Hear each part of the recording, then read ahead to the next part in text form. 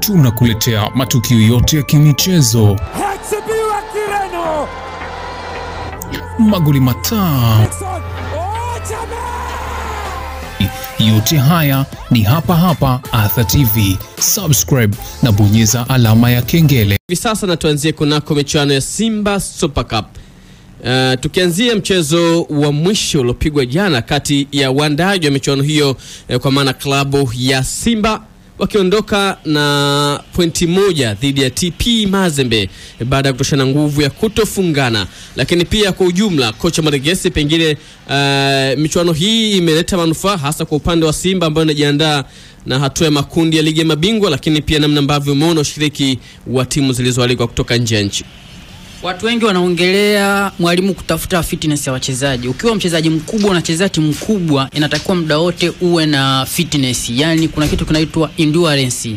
Uh, uwe uh, na utunzaji uzuri wa uh, utimamu wa mwili wako. Ndio maana kuna wakati moja kati ya mchezaji ambaye mimi wananivutia ananivutia kumwangalia au kufuatilia anachokifanya ni beki wa kushoto wa Simba Mohamed Hussein Shabalala. Mapumziko ya wiki kadhaa tu wenzake wanapewa, yeye muda mwingi huwa yuko bichi anakimbia. Maana yake ni nini? Anatunza utimamu wake wa mwili, lakini pia akijiweka kuwa fiziki, ndio unachokiona. Kwa hiyo kwa mchezaji mkubwa, cha kwanza ni ku, kuangalia endurance yako ya mwili.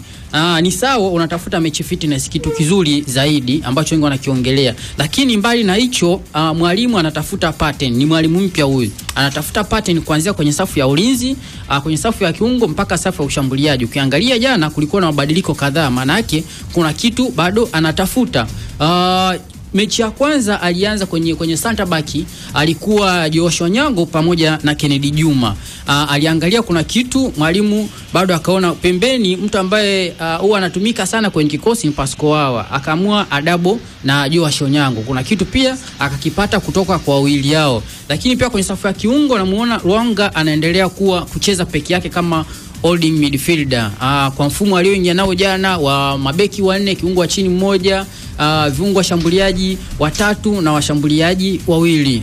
Pia na nyewe kuna kitu mwalimu amekipata ame, ame kutoka kwa Rwanga, ingawa Rwanga kuna vitu vichache tu kama mchezaji, lakini siwezi kumshangaa sana mchezaji kama uh, Yaya Toure George, kama unamkumbuka, hakuwa yes. na kasi sana, lakini ni miongoni mwa malegend ambao walifanya kazi kubwa sana kwenye eneo la body midfield. Alifanya uh, alikuwa na performance nzuri sana kwa kiasi fulani. Mimi comparison ndio napenda uh, uh, nachokiona aina ya uchezaji wa Rwangwa utofautiani sana na wa Yaya Toure, ingawa ni madaraja mawili tofauti, lakini kuna kitu unakiona una, una kwake, lakini ukienda individual performance uh, beki wa kulia uh, Duchu hawezi kufikia leo wala kesho kufikia performance ya Shomari Kapombe, lakini mwalimu anavyokupa nafasi kwenye hiyo michuano mikubwa kama Kapombe huwa anawapa kila kocha kumi ya kumi, tisa ya kumi, nane ya kumi. Wewe ukipata nafasi kama huyo mchezaji kijana, sio kwamba eti unaitafuta nafasi labda kwenda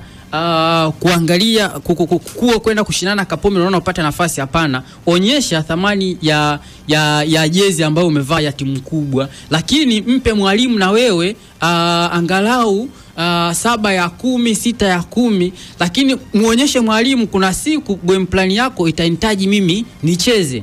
Ndio maana ya mchezaji kama Duchu, unapata nafasi mechi zote mbili alizocheza, ni kama ilivyokuwa Miraji Athumani. Kuna siku mimi Miraji, mimi nitakuhitaji, uh, sitamhitaji Perfect Chikwende, sitamhitaji uh, Francis Kata, sitamhitaji Uh, wala Bernard Morrison, nitakuhitaji wewe. Nikikupa nafasi unafanya nini? Ndio unakiona una, una kwa wachezaji wa aina hii, lakini mchezaji mwingine ambayo kwa mwalimu yoyote uh, kwa kikosi cha Simba hata akija akifanya mazoezi siku moja tu huenda akafanya ukaribu tena ukapangua kikosi ambacho ulikuwa unaendelea nacho. Ni Luis Mixon.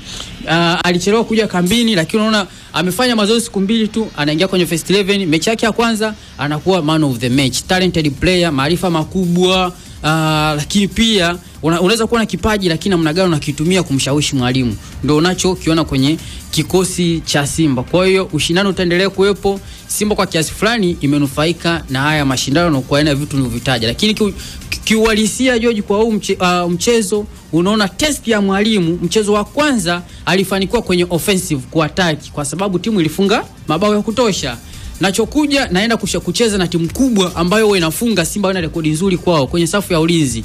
Ngoja nitia hapa na kenyewe ni test nipate test yake itakuwaje. Uh, kwenye ulinzi pia akafanikiwa kwa, kiasi fulani kwenye safu ya ulinzi ta, kwenye safu ya kiungo tayari playmaker ambaye Lalibwali alikuwa mchezo kwenye mchezo wa kwanza alikuwa ameshampa kitu ambaye na linki vizuri na Tadeo Lwanga. Kwa hiyo kiuhalisia Uh, mwalimu tayari ameshapata taswira ya wachezaji wake kwenye mashindano matatu ambayo anashiriki: ligi ya mabingwa barani Afrika, ligi kuu Tanzania bara pamoja na kombe la FA.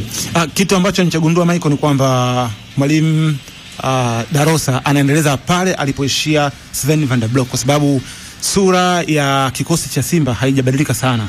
Ni timu ile ile ambayo imecheza raundi ya kwanza ya ligi kuu VPL, lakini kuna maingizo mapya. Kwa mfano kama Perfect Kwende amekuwa eh, akiingia na kutoka ili kuweza uh, kulink pamoja na wachezaji ambao wameshatengeneza pattern kutoka katika katika mafunzo ya mwalimu Steven van der Blok. Lakini jana pia kwa mara ya kwanza tumemwona Junior Alcosa akiingia akitokea bench.